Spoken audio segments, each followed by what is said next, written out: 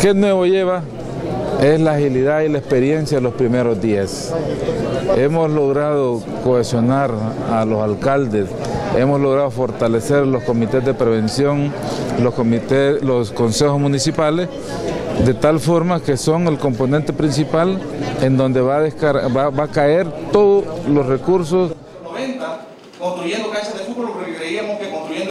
Entonces, ¿qué es el desafío? 100 mil dólares en un parque, en donde solo la mayor parte de los jóvenes encuestados dicen... De los 16 municipios priorizados para la segunda fase del plan El Salvador Seguro.